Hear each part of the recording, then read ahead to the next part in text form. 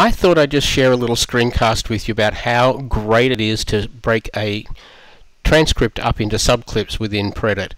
Now, when we break sub break this transcript up in Predit, we're actually creating subclips. Before I get um, a little too far in, we've processed these inside Premiere Pro, and in fact, this particular speaker was processed in Premiere Pro, and he was very, very good. It was very accurate, uh, and I can just break it into subclips. I'd like to listen to it first. So just bring up.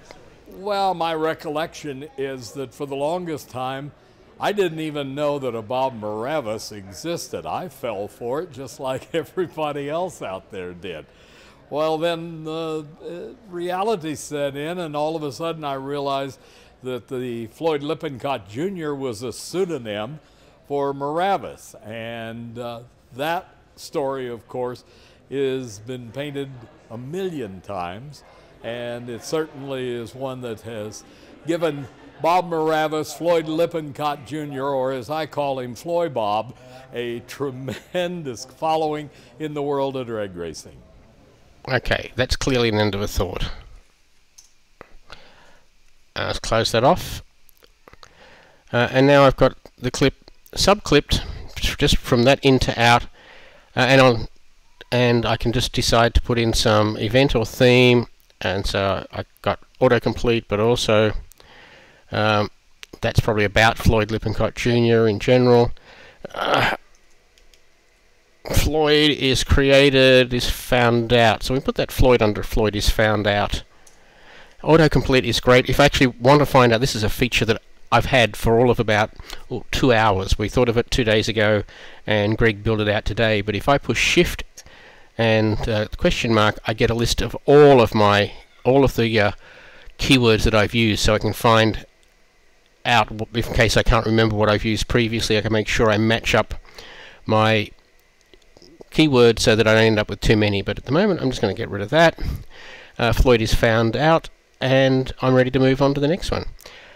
And so on. That's just so easy. It's so easy to put in metadata. Oh, I could, um, if I wanted, and I, am not doing it in this project, but I can. It's like uh, I could say uh, McClellan finds out Bob is Floyd.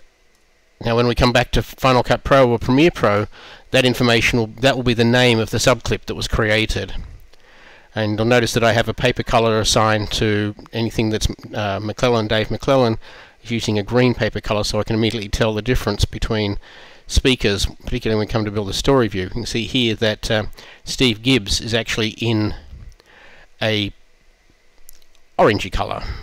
Uh, now you also notice that this is, there's something different about this. This particular transcript went through the Adobe Story on location to Premiere Pro. So I started with a transcript with names in it, processed it as if it were a film script inside on location, and brought it in. And when we discovered we could do that, because that retains the names properly, see, here's the interviewer and the subject properly named with the names that I gave them inside Story, already done. So as soon as we knew that we could do that, I asked Greg to give it to me. Um, now that uh, so that we break it up automatically on imp import to Predit.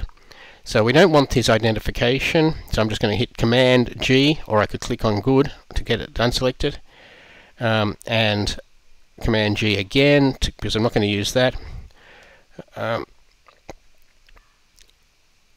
and then I'm not going to use that, so here we go. It's very long take, so we'll look through it. Uh,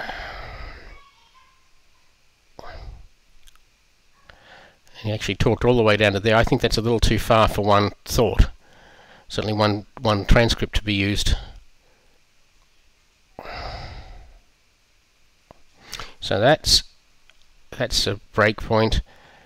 I'm going to use a freight train here.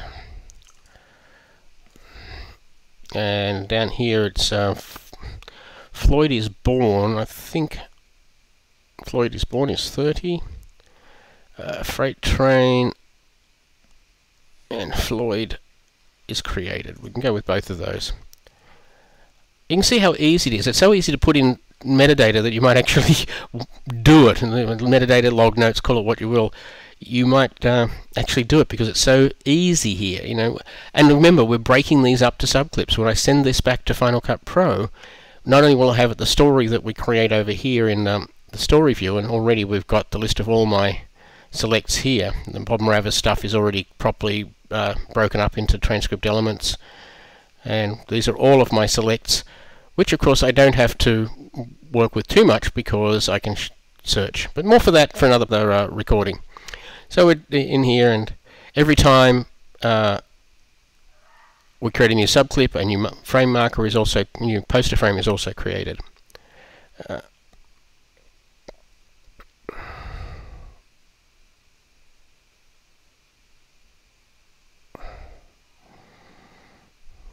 and I'll just break that up again, just because even though I want to actually pretty much put in that's uh, 30 Floyd is born.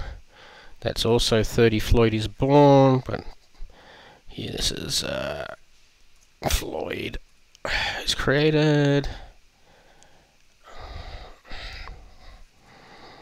And it's case sensitive, so if I hit it lowercase, it doesn't match. That actually is something we changed after uh, after me working with it for a while. And then there's my next question. I don't want that. I don't want that false start. Uh, false start. Uh,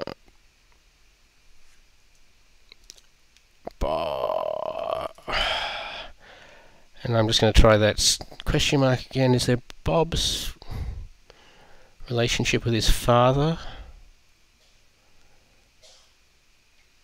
No. So I'm going to start a new Bob's relationship ship with his with his father. And I've created a new keyword. And I still think that's 30 Floyd is born. And I'm just going to start a new one there because this is uh, is about his relationship with his father. This is really about the Winter Nationals. But because they, they were together when I entered that I've kept Floyd is born. Um, and the relationship with his father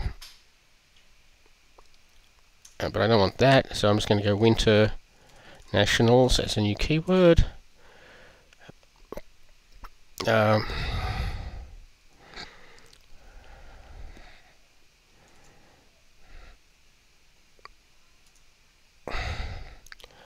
crediting winning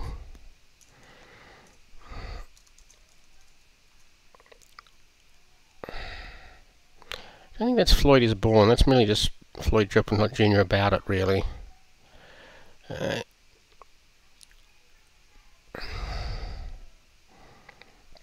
okay, another one I don't want to use. And, and you can see that this is actually just extremely simple to go through and add metadata, add log notes that otherwise you wouldn't be able to do, and generally it's been a really great experience. I am enjoying this very much. It's way more efficient than any other way I've tried to build a paper cut. And that's Predit. You can check it out at assistedediting.com and slash PR capital E D I T. Download the, the test version, which will do everything but save. And check out the help document under the help menu. It'll explain more. And check out the overview videos at assistedediting.com.